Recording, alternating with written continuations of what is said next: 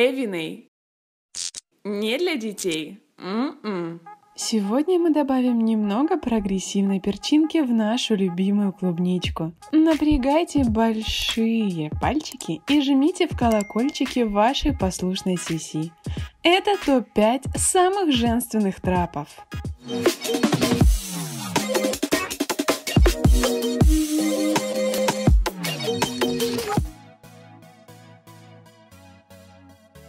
Белокожая и нежная молодая особа Элла Холливуд родилась 19 сентября 1999 в жарком Лос-Анджелесе. Подростком она начинала как веб-модель, выкладывая проникновенные фото и гифы на Тамблере. В конце 2018 в свои 19 лет она впервые снялась соло для Груби. За недолгие два года карьеры Элла снялась в более чем 50 фильмах и все с анальными сценами.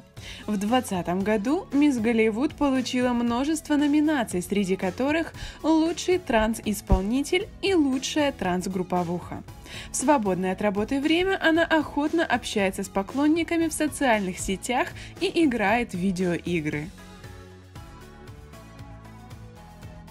Знойная брюнетка с мексиканскими корнями Шанель Сантини родилась 7 января 98 в любимом городе учителей химии Альбукерке в Нью-Мексико. Она в юности начала свой переход, и две недели спустя после окончания школы Шанель переезжает в Лас-Вегас, пробуя себя в качестве эротической фотомодели. В 16 году на выставке AVN ей заинтересовался продюсер Груби, пригласивший ее на порносъемку. 18 17-летняя Шанель поразила всех своим горячим темпераментом и сочным телом, и уже в 18 году получила титул «Транссексуальный исполнитель года» на X-Biz Award, а также три номинации AVN. 19 год принес девушке три победы на AVN и X-Biz.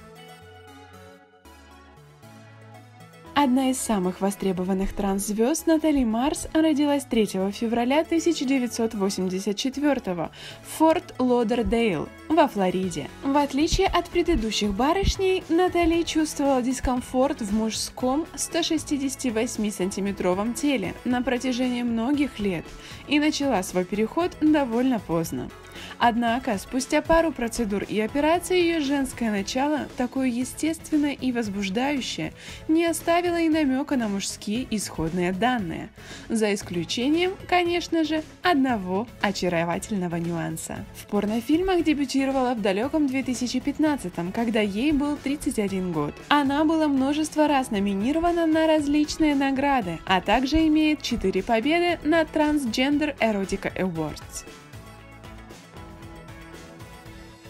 Калифорника Дейзи Тейлор появилась на свет в теле мальчика 28 мая 1998 года в Лос-Анджелесе. О жизни до дебюта в порноиндустрии почти ничего не известно. В ее первой сцене, снятой для сайта компании Groovy tscastingcouch.com в декабре 2018 20-летняя Дейзи выглядела самым настоящим ангелочком с наливными округлостями и темными длинными волосами. В 19 году году она коротко подстриглась, что только еще больше убедило публику в ее естественной женственности. В 2020 она получила свои первые номинации AVN Awards, среди которых и лучший транссексуальный артист года, а ее карьера насчитывает более 80 нетленок.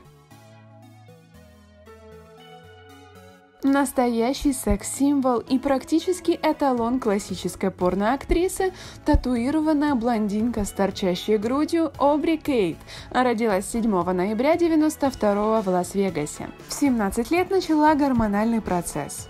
Во время поступления в университет она стала подрабатывать как транс-танцор в различных клубах. В один из таких вечеров ее и приметил продюсер компании King.com. В 2013 году, когда Обри было 20, она начала сниматься в сольных порно-роликах.